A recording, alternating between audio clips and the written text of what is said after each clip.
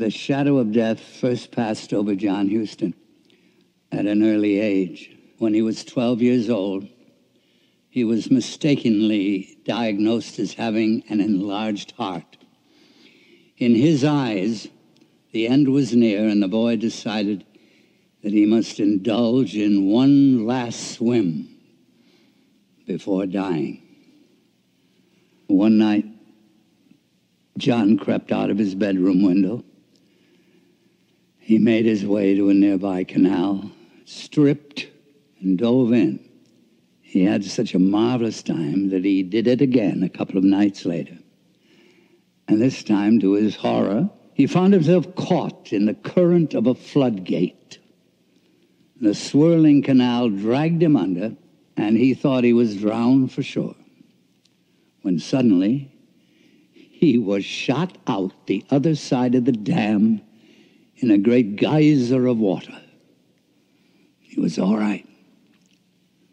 As the days passed, he returned again and again to ride the waterfall.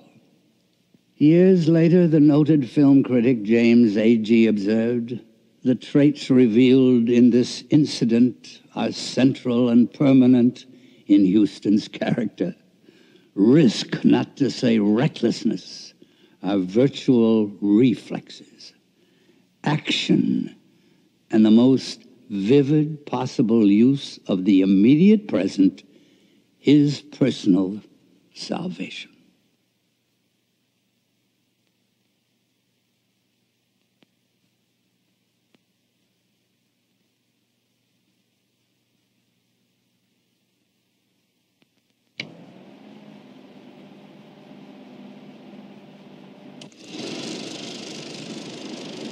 My life is composed of random, tangential, disparate episodes. Five wives, many liaisons, some more memorable than the marriages. The hunting, the betting, the thoroughbreds, painting, collecting, boxing, writing, directing, and acting in more than 60 films. I fail to see any continuity in my work from picture to picture. What's remarkable is how different the pictures are, one from another nor can I find a thread of consistency in my marriages. No one of my wives has been remotely like any of the others, and certainly none of them was like my mother. They were a mixed bag, a schoolgirl, a gentlewoman, a motion picture actress, a ballerino, and a crocodile.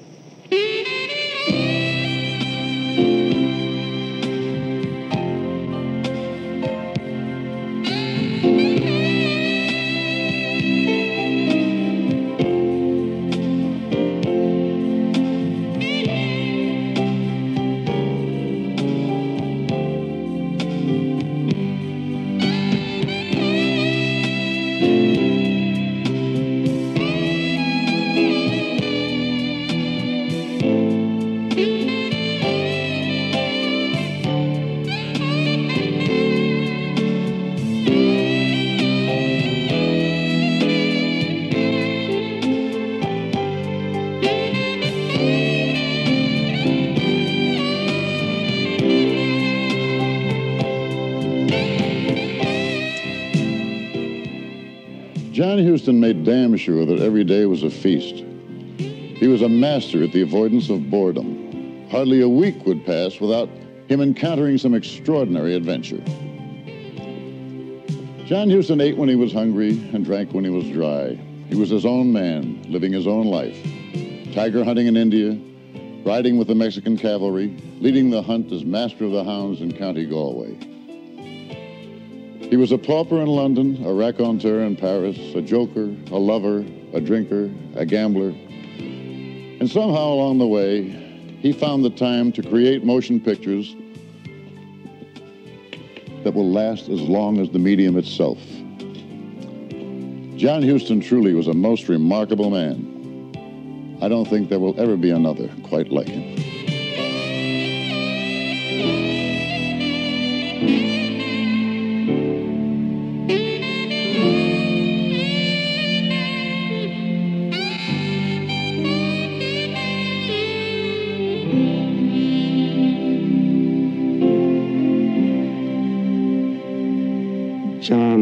was an eccentrics, eccentric.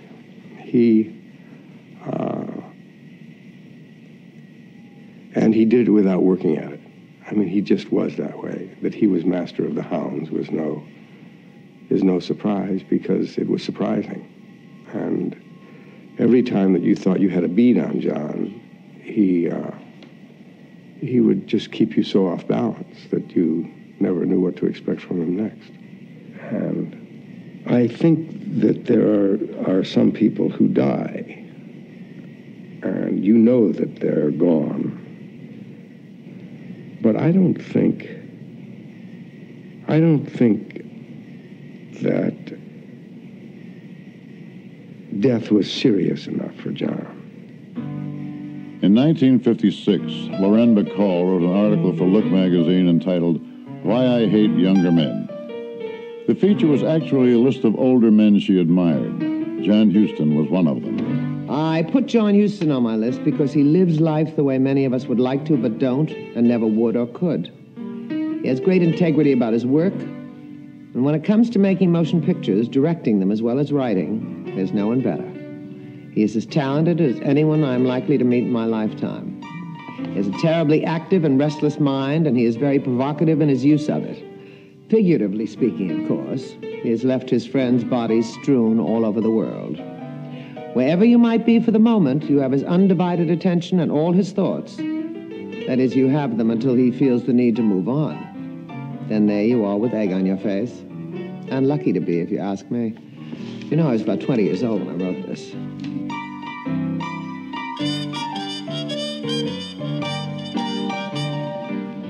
I was born in the, in the Middle West, in uh, uh, Missouri, a little town, a tiny little town called Nevada. And, um, and my family was a wandering um, family. I went to Texas and St. Louis and Indianapolis and Cincinnati and St. Louis again. And uh, I can't tell you when the first, it was the first time I heard the St. Louis blues, but it left an indelible impression on me. I didn't stop studying when I left school. In fact, I, I went to an art school and uh, encountered various important influences that served to, to shape my life into uh, what it's become. I had an imaginary playmate, so I asked him if, if he did, and I was just another little kid like myself. His was a 15 foot giant. Isn't that marvelous? I think that's terrific. I mean, he'd go to the movies and this giant would come and curl up under the, the seat, protected him all the time. I mean, that tells you a lot about somebody. You got a giant taking care of you all the time. Gives you confidence. John's parents had gone their separate way when he was a young boy. As a result, much of his childhood was spent traveling with his mother, Rhea Gore, who was a prominent journalist. As a teenager, an unorthodox boxing style carried the lanky boy to a California lightweight boxing championship. He discovered his love for painting, tried his hand at acting, and rode for two years with the Mexican cavalry. Legend has it that while in Mexico, John found himself challenged to an old-fashioned gunfight. Never one to walk away from a quarrel, he accepted the invitation, went downtown, and purchased a pistol with the longest barrel he could find. His intention was to hide behind a tree and shoot his adversary in the legs the moment he rounded the corner. Fortunately, the battle never materialized. Young John Huston was disarmed by his mother. It wasn't long after that that John returned to California and married his first love, a young writer named Dorothy Harvey. Unable to earn a living as a boxer or a painter, and inspired by a smuggled copy of James Joyce's Ulysses, John took up writing. He sold a story to H.L. Mencken, who ran it in his influential literary magazine, The American Mercury. Mencken's acceptance of The Fool, as the story was called, enabled John's mother to secure him a position as a reporter for the New York Daily Graphic. After bungling a number of assignments, he abandoned his journalistic aspirations and beat a hasty retreat to the West Coast. John's father, Walter Huston, no longer a struggling vaudevillian, now a successful film actor, was eager to reestablish ties with his son. He met John and Dorothy at the Los Angeles train depot, handed them the keys to a new Buick, and said, Welcome to Hollywood. A friend of mine, the producer Herman Shumlin, United States, went out to California to work for Goldwyn, and he had me come out. I didn't do anything for Goldwyn. Um, but as a result of being out there, I went to work then for Universal. And uh, not very successfully, wrote a couple of pictures. Quite interesting, one of them was, a thing called Law and Order. And they got my father to play the part. With John's position at Universal came the inevitable avalanche of Hollywood bashes. Henry Blanke, who would later become John's champion and mentor, saw him as a drunken boy, hopelessly immature. You'd see him at every party, wearing bangs with a monkey on his shoulder. I'm sure my father had great misgivings. I've, I've heard about them in recent years. His wife, my stepmother, um, told me only recently that my father said, um, John is, is going to really be something. Um, he's, he's not going to, it, it's one thing or the other. He's going to really be something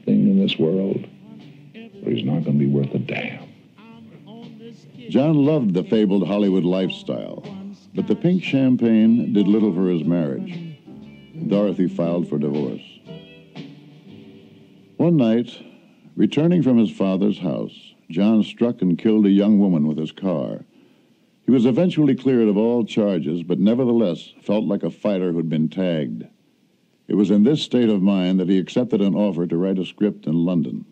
uh, worked on a couple of scripts that came to absolutely nothing. I ran out of money here, and um, I found myself up against it. And um, we even sang cowboy songs in the street. A friend of mine and I did. John's travels led him back to the West Coast by way of Chicago. It was here that he met a pretty young Irish girl named Leslie Black. Never one to dally, John proposed. Leslie accepted, and together they were off for Hollywood. John Huston was determined to earn a solid living as a screenwriter. he thought like a writer. He understood what a story was. And uh, he, of course, had a pretty good literary background. Uh, in another incarnation, he probably could have been a professor of literature. He loved reading. He was never without a book. And uh, he had some very high standards about writing. He regarded the script as being the basis of the production. He would always say, You never saw a good movie that didn't have a good script. He was the greatest storyteller I've, I've ever known. And sometimes these stories would start at the beginning of dinner, would go on all through the evening. And uh, we would end up generally in some Third Avenue bar in New York. And I would be leaning on the counter and saying, And then what? Uh, there's nothing more wonderful than a storyteller. And later on, as the years went by, I realized that these stories that he told me were the s- films that he made. Here's to plain speaking and clear understanding.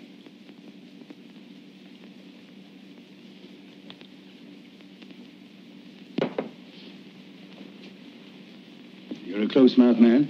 Oh, I like to talk. Better and better. I distrust a close-mouthed man. He generally picks the wrong time to talk and says the wrong things. Talking something you can't do judiciously unless you keep in practice. Now, sir, we'll talk if you like. I tell you right out, I'm a man who likes talking to a man who likes to talk. Swell. Will we talk about the blackbird? You're the man for me, sir. No beating about the bush, right to the point. I wanted to be a director, and um, uh, I think that Warner Brothers would have preferred for me to remain as a writer um, rather than, you know, gamble on on my talents as a director, which I had no idea whether I'd be any good or not. It was in, in the way of an indulgence on their part, a very sporting one. In John's hands, the Maltese Falcon evolved from a B movie called The Gent from Frisco to a timeless cinematic masterpiece. The picture was critically praised, loved by the public, and nominated for a trio of Oscars. It was no fluke. John tailored the film like a fine Savile Row suit, carefully crafting every scene, every shot, every nuance. You're good. You're very good. What did he say About what? about me? Nothing. What did you talk about then? He offered me $5,000 for the Black Bird. Uh, uh, you're not going to go around the room straightening things and poking the fire again, are you? No, I'm not. What did you say? I said $5,000 was a lot of money. It is. It's more than I can ever offer you if I have to bid for your loyalty. Ever given me beside money? Have you ever given me any of your confidence, any of the truth? Haven't you tried to buy my loyalty with money and nothing else? What else is there I can buy you with? The Maltese Falcon truly was the stuff dreams are made of. Not only did it launch John as a director, it began a friendship that would take John Huston and Humphrey Bogart through some of their greatest films. The original intention was to have George Raft play it, but uh, he pulled away from it because he didn't want to trust his career to a young director, to someone who had never directed before. And um, Bogart, to my secret delight, was substituted. And um, uh, that picture began, I think, a whole new career for Bogey. I think they got along so well, first of all, because each of them had a large talent, and they each respected the other.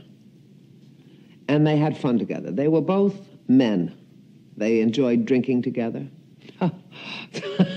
smoking together. He, he, he had no side, no pretensions, um, and um, loved having a good time. Loved uh, loved acting the fool and and getting into scrapes and and uh, he was never quite as drunk as he pretended to be. He was not an alcoholic or anything of that sort. But on his holidays, why, he loved to hit corners. Throughout his career, John rarely followed one great film with another. After The Maltese Falcon, he directed In This Our Life, which he later dismissed as an unfortunate failure. The picture's singular success, for John at least, was his growing friendship with one of the film's stars, Olivia de Havilland.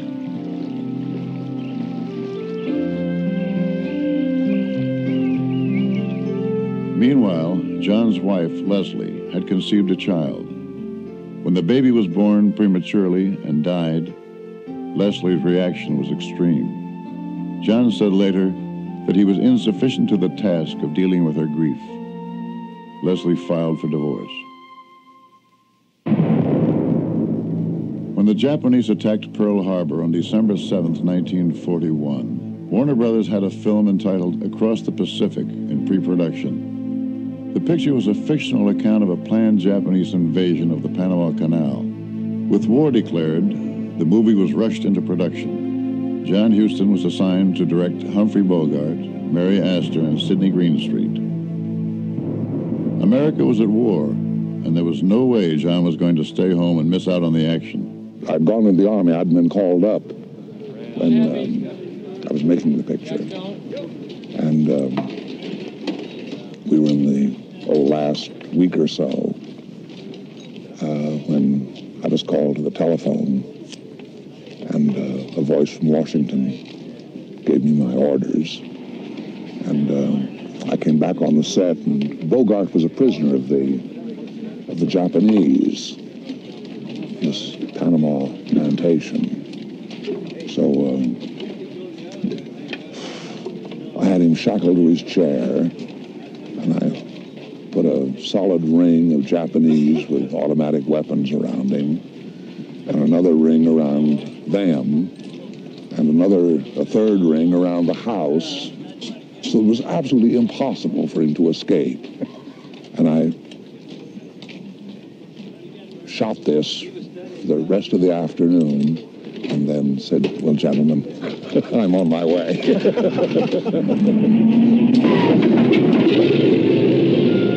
100 men, nine bombers, 12 fighters, are setting out to attack and immobilize 10,000 men behind naval and military defenses. This is the significance of aerial supremacy. This supremacy lies the enormous system which makes it possible for the ships to take off.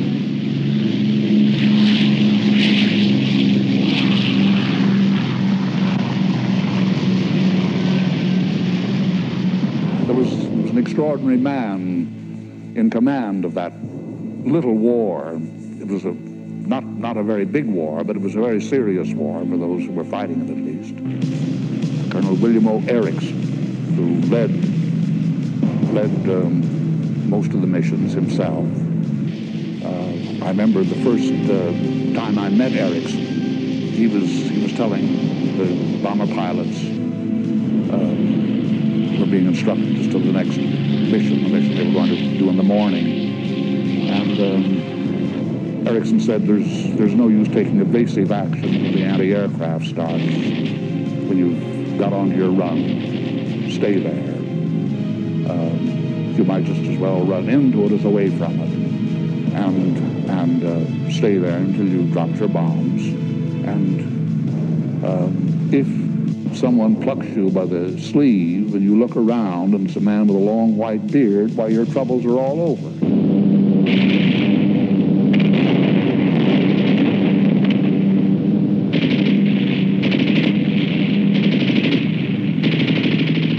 Well, immediately after, um, I was sent to Italy to do to do um, um, our triumphant entry into Rome. From the end of October 1943 until the middle of December, San Pietro and the surrounding ground was the scene of some of the bitterest fighting on our Fifth Army front.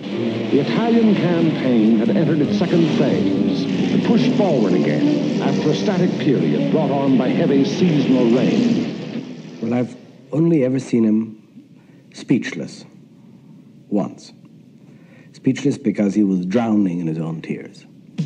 For some reason, the subject of the war came up. Um, somebody said something stupid, as usual, about courage.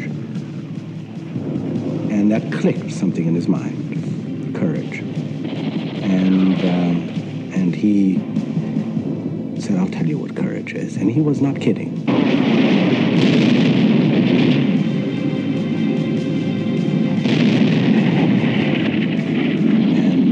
Described a scene on the, the Rapido, which was a river uh, in Italy during the war that, they, that uh, a battalion that he was attached to was directed to cross and capture a hill. And there were machine gun nests uh, on the other side. This was impregnable. And every Marine or every soldier that was crossing was being shot and killed right in the water. And, and John was, was John was there and, and trying to pictures of all of this. And um, and uh, there was a sergeant standing waist deep in freezing water. Um, and he was standing there all night long, and his hand had been blown away. Blown away. There was nothing but a stump on his arm, bleeding. And as each soldier went by on this rope to, to die, he would bring up the stump and salute And, um, and John started to describe this, and he couldn't go on. Couldn't go on. Couldn't do it. He just broke down and, started to cry. I made a number of interviews with the men about um, uh, what they what they believed the world would be like after the war. That was the theme of the interviews, and um, um, some of them were were very most articulate, if not eloquent, and um, and then a number of these men, some of these men, were killed, and. Um, I, I, I used the, the material as they were being put into their blankets. You see one or two men, their faces come into cameras as they're put into the blankets in the picture still, I believe. but these were men that we had heard talk and speak. And over the dead faces, um, what, what they had to say about the future. They were classic documentaries, and John was there. And I'm sure when he was shooting San Pietro in the middle of all the gunfight, I'm sure it never occurred to him that anything might happen to him. Just get that shot, get that. He was so focused on what he was doing. And let there be light, of course, seeing what psychologically could happen to someone as a result of war. Uh, it's, I mean, I think it's a shame that uh, the government didn't want it to be shown. The guns are quiet now. The papers of peace have been signed. And the oceans of the earth are filled with ships coming home. In faraway places, men dreamed of this moment. But for some men, the moment is very different from the dream.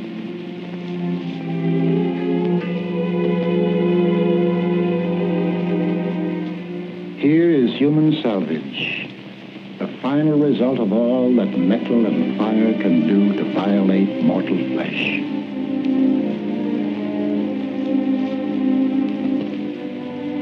Some wear the badges of their pain, the crutches, the bandages, the splints. Others show no outward signs, yet they too are wounded. Well, the, um, the intention was to show a film about men who uh, were released from the army um, because of, of, um, of emotional difficulties. Um, and it was an experience that I shall never forget. Well, Hofmeister, what's your trouble? Hmm?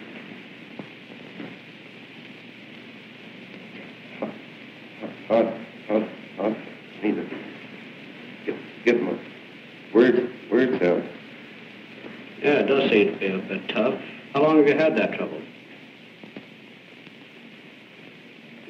Started out of uh,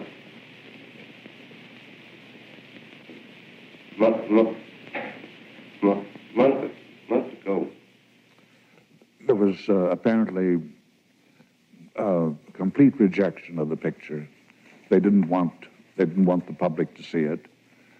I asked public relations, Army public relations, to show, uh, for permission to show it at the Museum of Modern Art in New York, and permission had been granted. But then uh, somebody had second thoughts, and uh, the the audience had gathered uh, when MPs appeared and took the film. Well, now tell me now, how do you feel now? Hmm? Make any difference in your feeling? Boy, in hell, it's like seventh heaven. What is it? Tell me about it. Boy, I can talk. That's fine, I can it? talk. I can talk. That's good, boy. Listen, I can talk. Oh, God, listen, I can talk. Oh, there's nothing wrong. Oh, God, coming back now. You can take it easy. Oh, listen, I can talk. Just the way you always did, all right? Hmm? God, listen. God, I can talk. Just the way you always did, Hofmeister.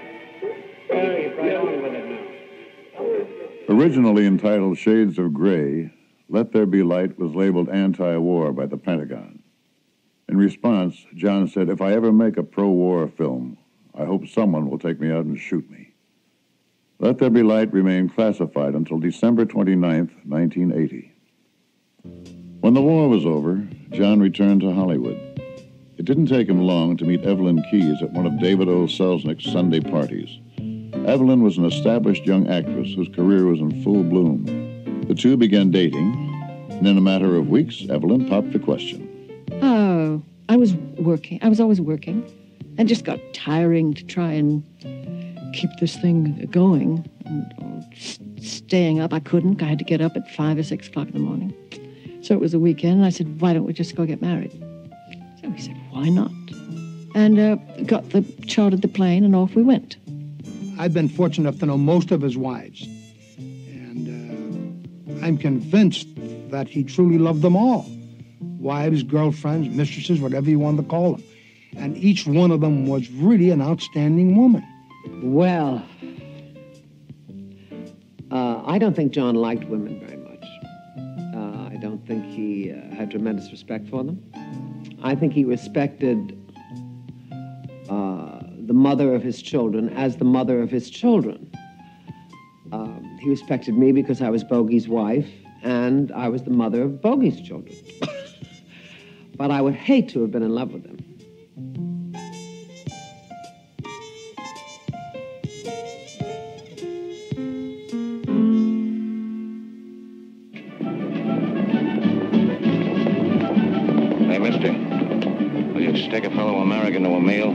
Such impudence never came my way. Early this afternoon, I gave you money. While I was having my shoes polished, I gave you more money. Now you put the bite on me again. Do me a favor, will you? Go occasionally to somebody else. It's beginning to get tiresome. Oh, excuse me, mister. I never knowed it was you. I never looked at your face. I just looked at your hands and the money you gave me. Beg pardon, mister. I promise I'll never put the bite on you again. This is the very last you get from me. Just to make sure you don't forget your promise, here's another peso. Thanks, mister. Thanks. But from now on, you have to make your way through life without my assistance.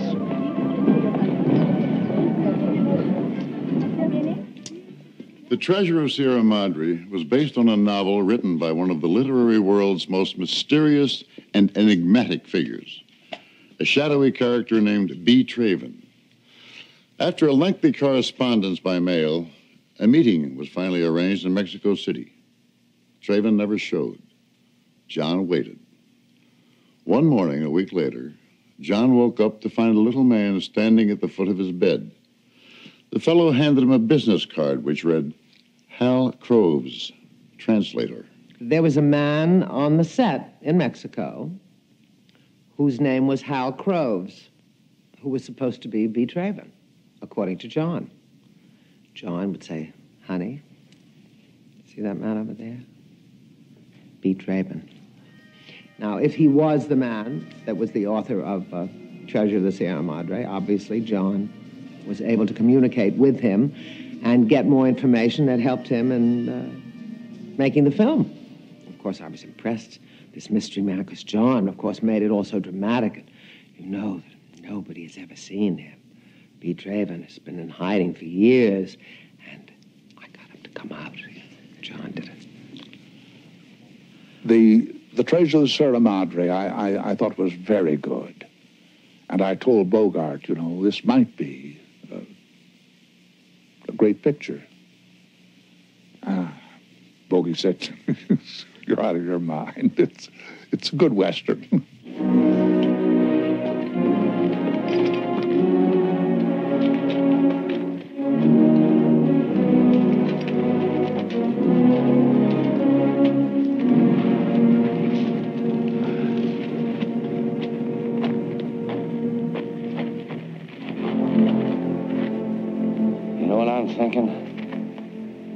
Thinking? We ought to give up.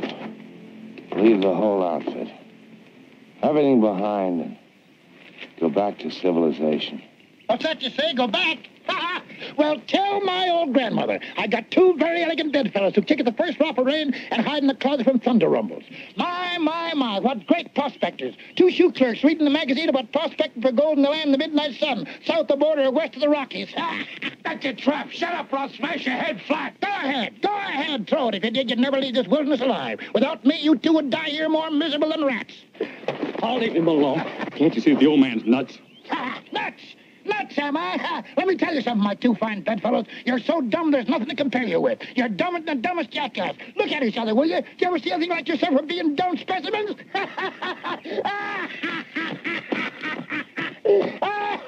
You're so dumb you don't even see the riches you're treading on with your own feet.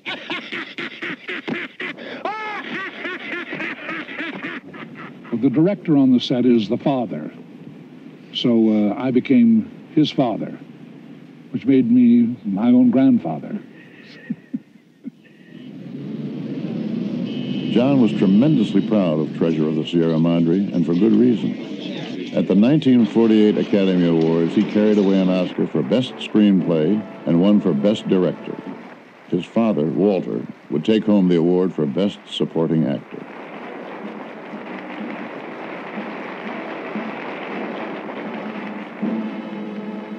Many years ago, many, many years ago, I raised a son, and I said, if you ever become a director or a writer, please find a good part for your old man. He did all right.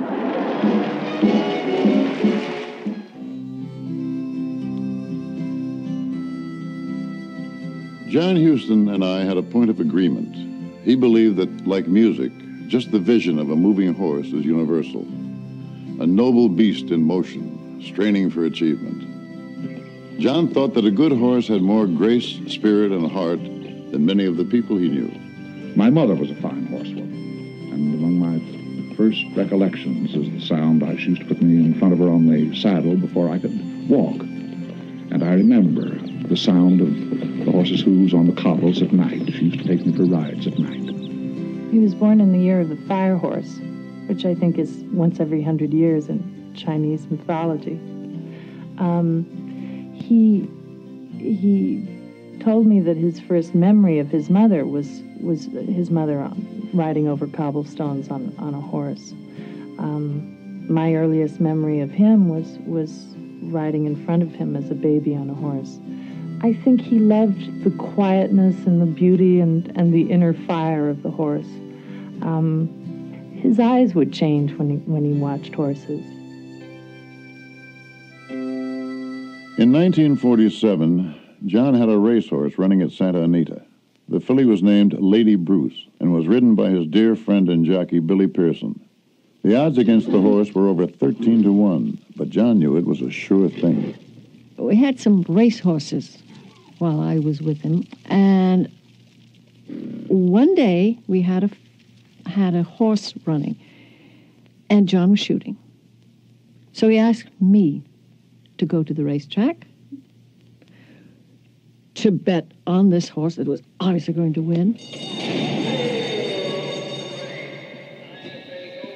John was so confident Lady Bruce was a winner that he scraped together something like $11,000, borrowing most of it, of course. He advised all his friends to bet the horse, gave his cash to Evelyn, told her exactly how to place the bet, and sent her on her way. Sure enough, Billy Pearson brought Lady Bruce home a winner. John thought that this was perhaps the greatest news he had ever received. The fish were jumping and the cotton was high. It's the beginning of a new era. Well, half an hour later, he receives a phone call. It wasn't good news. I went out there and I spoke to our trainer, who said she hasn't got a chance. This other horse in the race, I mean, she, not, not a chance, never going to make it. So I put a token bet of maybe five bucks on her nose instead of the, the thousand. John was in a state of shock. Given the gravity of the situation, he decided that several strong drinks were in order. Uh, I got home and the phone call came. He said, uh, I resolved to be a gentleman, you understand. No crying over spilt milk. I've heard all about it, dear. Now, don't you worry. I'm sure it's not your fault. It was an accident. And he said, Suddenly I realized that someone was screaming and ripping the phone off the wall. And it was me. It was just a click. I didn't see him for about two days. I just didn't see him at all. Key Largo was a dark tale of double cross, danger, murder, and intrigue set in the Florida Keys. There were fine performances by Bogart, Bacall, Lionel Barrymore, and Edward G. Robinson. John said that the opening shots of Eddie sitting in the bathtub reminded him of a crustacean without its shell. In 1949, the picture went on to earn an Academy nomination for Best Film and landed an Oscar for Claire Trevor as Best Supporting Actress. Following the completion of Key Largo, John traveled to Havana to begin scripting his next film, We Were Strangers. The story concerned the attempted assassination of a Cuban dictator by revolutionary forces. John's co-writer, Peter Viertel, was an old friend of Cuba's most famous expatriate, Ernest Hemingway. I wrote a Hemingway story into a picture once, collaborator. Um, and um, it was during the time I was in the Army, and I didn't want there to be any um, semblance of moonlighting, so my name didn't appear on the screen. And uh, one time, Ernest Papa was saying that they'd never done any good pictures of his books, stories. He said only one that he liked, The Killers. And I didn't tell him that I'd written it. he found out later and called me a dirty name. John Huston once wrote an article entitled Monkeys I Have Known and Loved. In it, he says, There has never been a time in my life that I didn't have at least one monkey around. Late one evening, after many a toast celebrating the completion of We Were Strangers, John returned to the fragile Hollywood apartment he shared with his wife Evelyn. He was not alone. On his arm was a chimp named China. Paulette Goddard lived upstairs. I went up. She didn't believe me. I said, he's sleeping with a chimp down there. I stayed up there, came down in the morning, and opened the bedroom door. The chimp had awakened in the night, had swung on the drapes, had uh, opened all the drawers. They can do that. Everything was out. Everything in the drawers was out. Underwear, scarves, I don't care what it is, all over the place. And it left little deposits of uh, chimp shit, you want, I can say. That's what it left. This chimp left all over, in the drawers, on the pillow, on the bed, everything.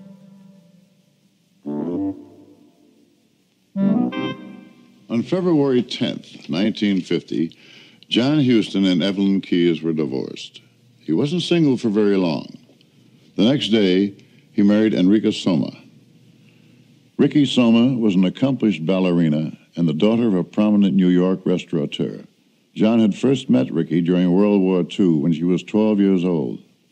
Seven years later, they would meet again in Hollywood. Meanwhile, John's career never missed a beat.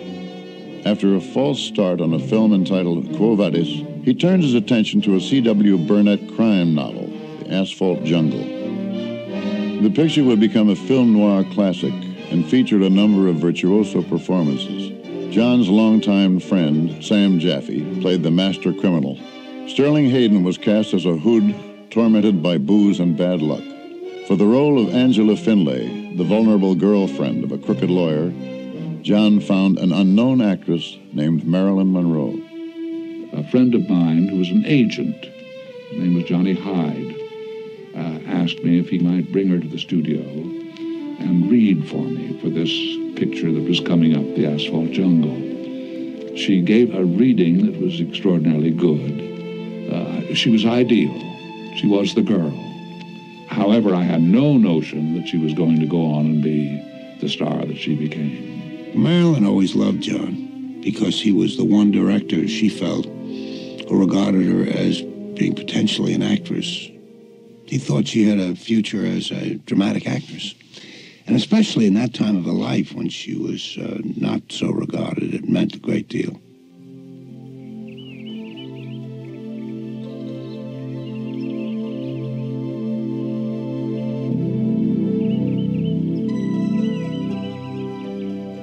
The early 1940s, John designed a sprawling ranch house in Southern California's San Fernando Valley.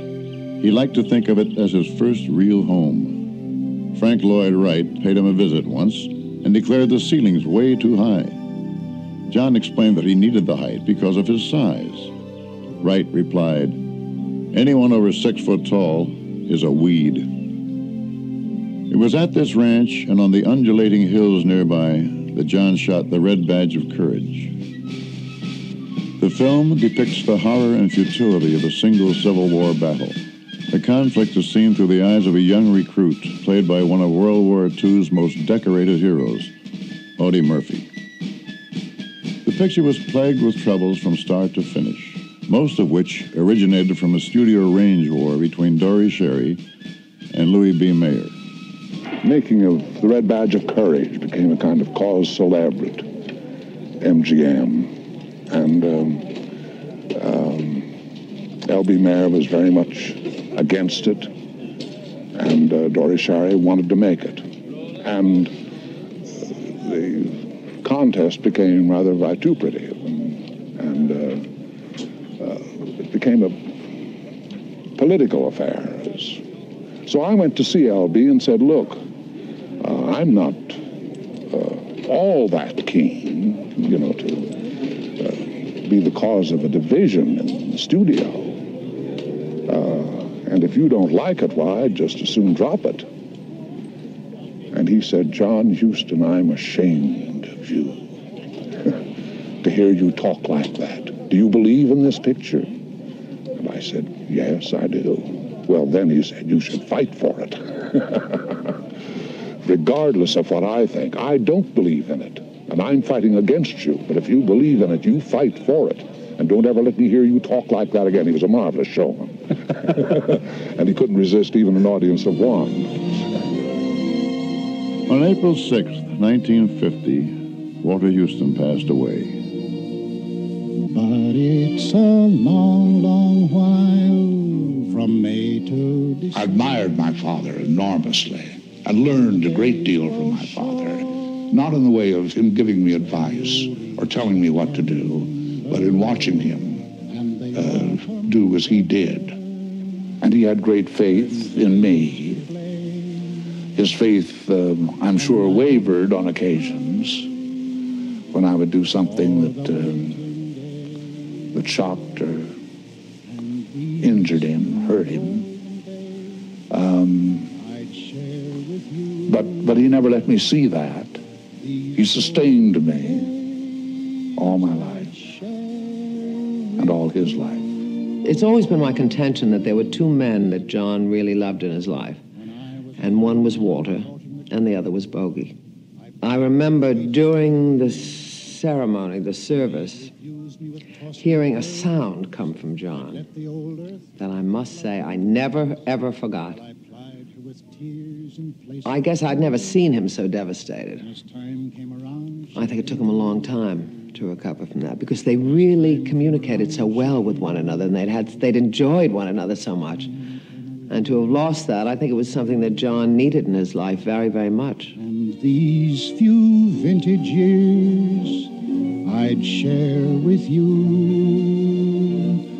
These vintage years I'd share with you. Ten days after Walter's death, Ricky gave birth to John's first son, Walter Anthony Huston. John's life at this time was a labyrinth of conflict and change. In addition to the problems surrounding the Red Badge of Courage, he was embroiled in a divorce, committed to a marriage, devastated by the death of his father, and blessed with the birth of his son, all in the space of four and a half months. I've often wondered what made John tick.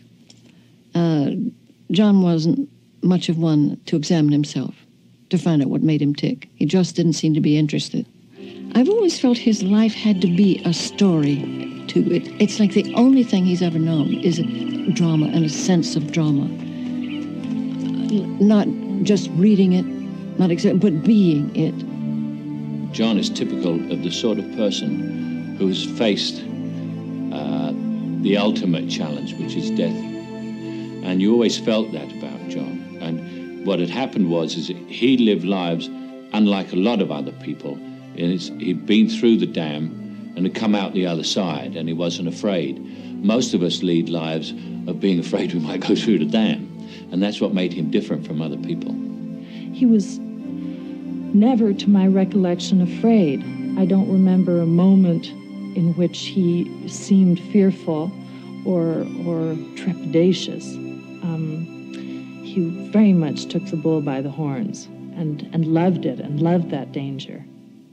John decided to shoot his next film as far away from Hollywood as he could get. His search for the ideal location took him to the dense jungles of Africa. There he traveled over 25,000 miles before finding a jet black river deep in the Belgian Congo. It was here that he would shoot The African Queen.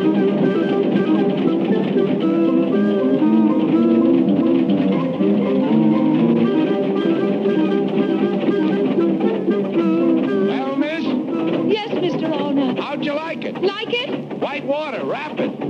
I never dreamed. I don't blame you for being scared, miss, not one little bit.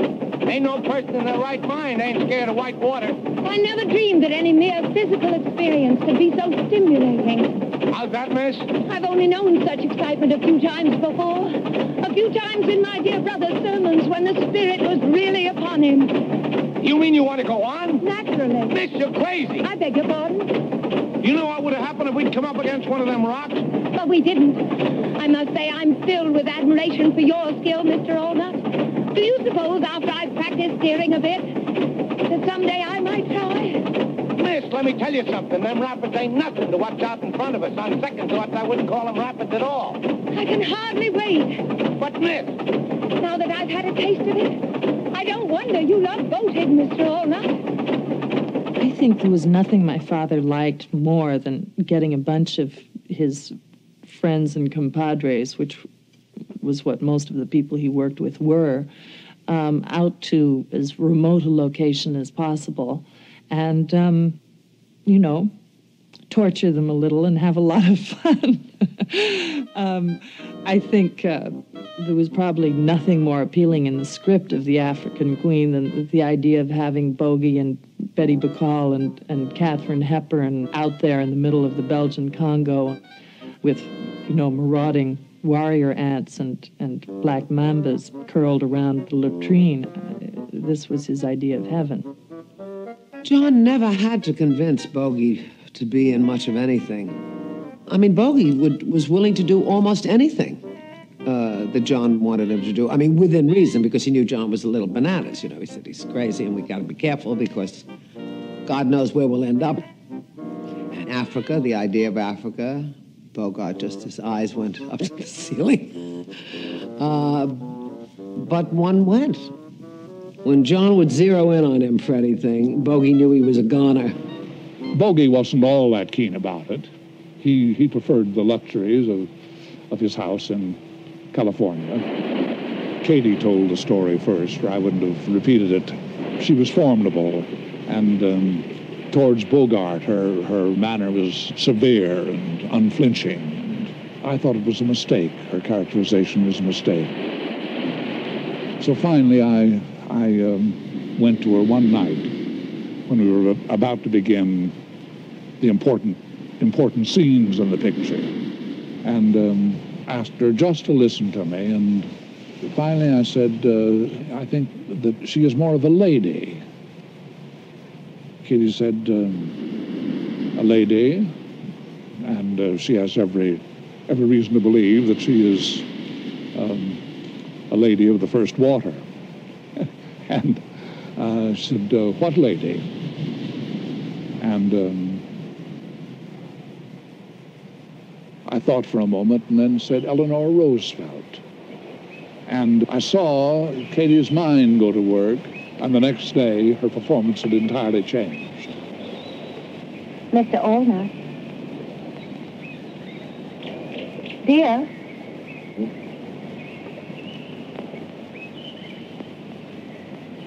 Well. Well, now. This is more like it. Breakfast in bed.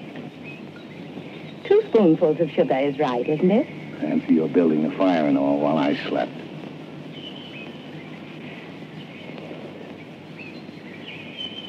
Dear, what is your first name? Charlie. Charlie. That's a nice name. Charlie. Charlie. Give us a kiss.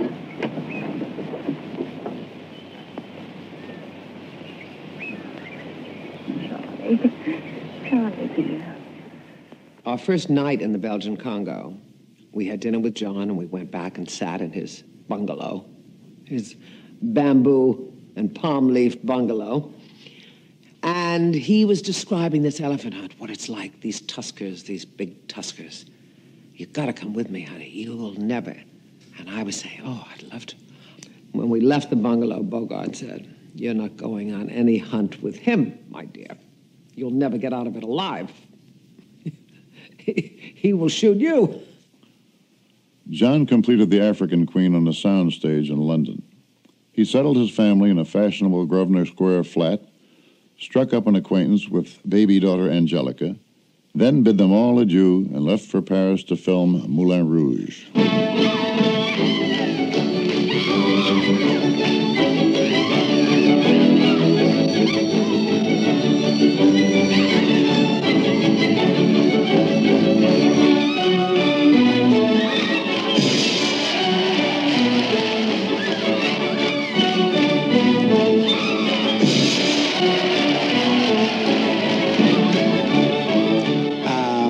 Said to me uh, as soon as I saw him, you know, he would like the picture to look as though it was directed by Toulouse-Lautrec. So we, uh, I set about desaturating and degrading the color.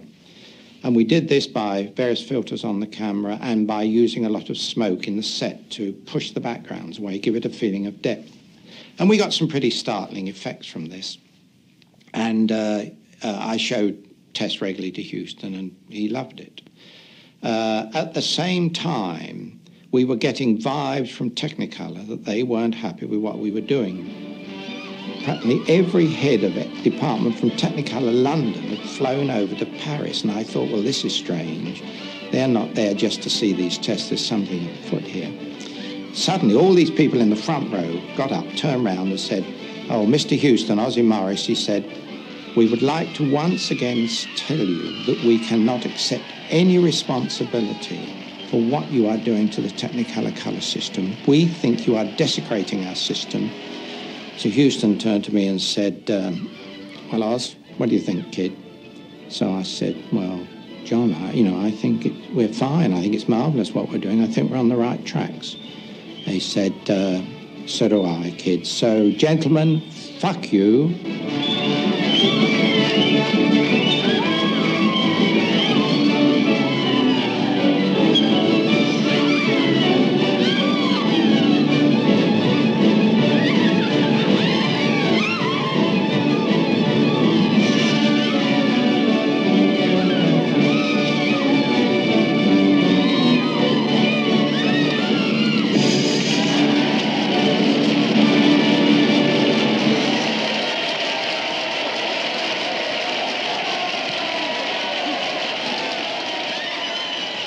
I think Dad, in his heart of hearts, is a painter, um, and a very, very good painter. He would have, he would have been one of the painters of our century if he would have spent more time at it. And he certainly admired painting more than he did filmmaking. Um, filmmaking was a category below the painter, the artist. Um, filmmaking was more of a craft than necessarily an art form for that. And um, he, he thought he was a better filmmaker than a painter. And he might as well do what, what he thought he was best at. Um, but there's an element of a sacrifice there. He had to sacrifice something, his, his, his painting. I can see his hand now, the way he held the pencil, and constantly sketching, constantly looking up. His eye was so clear, so true. I um,